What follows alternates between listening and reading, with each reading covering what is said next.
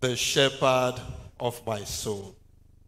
Number one, lean on the shepherd of your soul for direction.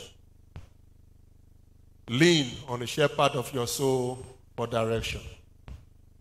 When the Bible says in Psalm 23, verse 1, the Lord is my shepherd, it was saying, I trust the Lord to guide me. I trust the Lord that He knows what is best for me. And I will allow the Lord to lead me. That's what that verse 1 is saying. The Lord is my shepherd.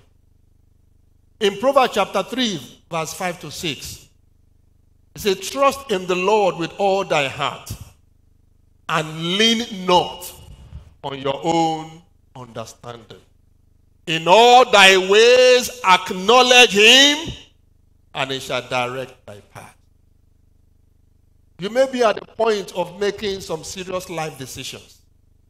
That's why you are hearing this message today. Don't make that decision on the basis of your own wisdom. Don't make that decision. What you are hearing now is the message specifically for you.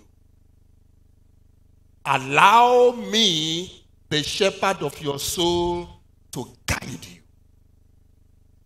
In John chapter 10, verse 27, John 10, 27, it says, My sheep hear my voice, and I know them, and they follow me.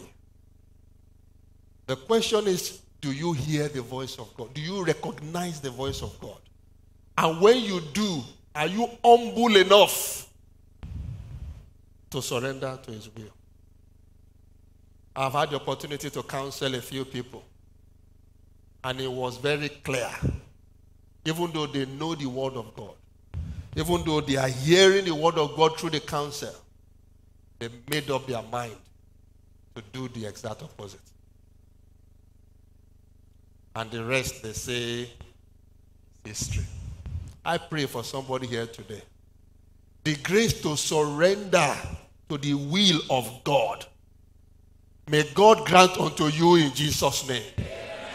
Proverbs 14, verse 12 says, There is a way that seemeth right unto a man, but the end thereof are the ways of death. You cannot know more than God. You can't know more than God. I pray for somebody here the grace to exchange your will for the will of the Almighty.